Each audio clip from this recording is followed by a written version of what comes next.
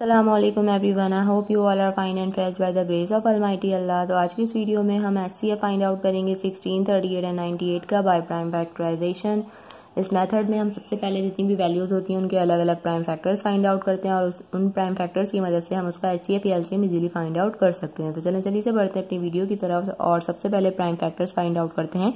Sixteen के।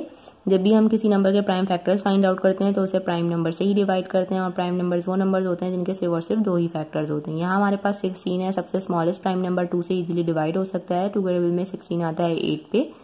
अभी भी ये वैल्यू टू से डिवाइड हो सकती है टू के में एट आता है फोर पे। अभी भी ये वैल्यू टू से डिवाइड हो सकती है टू के में फोर आता है टू पे, और टू के टेबल में टू आता है वन पे। यहाँ हम सिक्सटीन के तमाम प्राइम फैक्टर्स फाइंड आउट कर चुके हैं। अब इसी तरह हमने थर्टी एट के प्राइम फैक्टर्स फाइंड आउट करने हैं। थर्टी एट के लास्ट में है इवन नंबर यानी कि ये वैल्यू टू से इजीली डिवाइड हो सकती है, लेकिन टू के टेबल में थ्री नहीं आता, उससे छोटा नंबर आता है टू और वो आता है वन पे। वन हमारा रिमाइंडर है, वो चला गया इस एट के पास और ये बन गया एटीन टू के टेबल में एटीन बिल्कुल आता है नाइन पे। अब यहाँ आ चुका है हमारे पास नाइनटीन नाइनटीन जो है वो प्राइम नंबर है। मीन्स इसके सिर्फ़ और सिर्फ़ दो ही फैक्टर्स होते हैं, एक वन और दूसरा ये खुद। इसलिए यहाँ नाइनटीन को हमें नाइनटीन से ही डिवाइड करना पड़ेगा, क्योंकि ये किसी और नाइनटीन से छोटे नंबर से डिवाइड नहीं हो सकता। नाइनटीन के टेबल में नाइनटीन आता है वन पे। अब यहाँ हमारे पास जो नेक्स्ट वैल्यू है, वो है नाइन्टी एट लास्ट में हमारे पास इवन नंबर यानी कि ये वैल्यू भी टू से इजिली डिवाइड हो सकती है।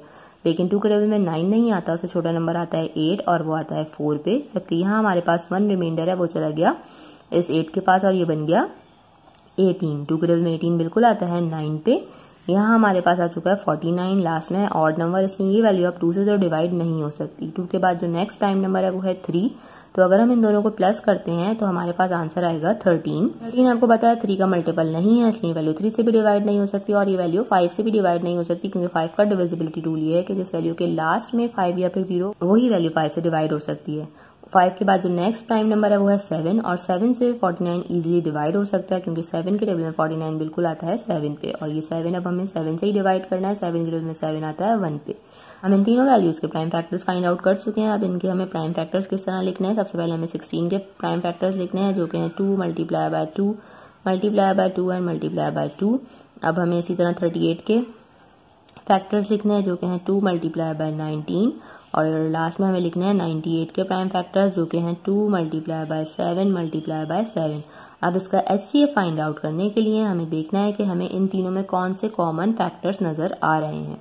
जिनके पेयर्स बन रहे हैं, वो पेयर्स बन के बाहर आ जाएँगे, उनको हम यहाँ एक साथ लेके मल्टीप्लाई करेंगे तो हमें एच सी एफ़ पता चल जाएगा। लेकिन अगर किसी एक ही का पेयर बनेगा तो फिर वही हमारा एच सी एफ़ होगा। यहाँ देखिए, तीनों में हमें सबसे पहले टू नज़र आ रहा है। ठीक है? उसके अलावा कोई और ऐसा हमें इन तीनों में प्राइम फैक्टर नज़र नहीं आ रहा जो कि तीनों में हो। यहाँ टू है, लेकिन यहाँ कहीं टू नहीं है, यहाँ नाइनटीन है, यहाँ कहीं नाइनटीन नहीं है, यहाँ सेवन है, लेकिन इन दोनों में कहीं सेवन नहीं है। मीन्स के टू के अलावा इन तीनों में और कोई कॉमन फैक्टर नहीं है। इट मीन्स के टू ही हमारा हाइएस्ट कॉमन फैक्टर है sixteen thirty eight and ninety eight का। अगर यहाँ और भी पेयर्स बनते तो वो पेयर्स को, वो पेयर बन के बाहर आ जाते, उनको हम यहाँ लिखते और मल्टीप्लाई करते, फिर हमें एच सी एफ़ जो है पता चलता है। लेकिन यहाँ एक ही पेयर बना है पेयर बन के बाहर आ गया टू इसे हमने एक बार लिखा और यही हमारा एच सी एफ़ है। आई होप कि वीडियो आपको अच्छे से समझ आई है। अगर वीडियो आपको पसंद आई तो इसे लाइक और शेयर ज़रूर करें। मेरे चैनल को भी सब्सक्राइब करें। चलो बहुत जल्द मिलती हूँ आपसे अपनी नेक्स्ट वीडियो में। अपना बहुत ख्याल रखिएगा। अल्लाह हाफिज़।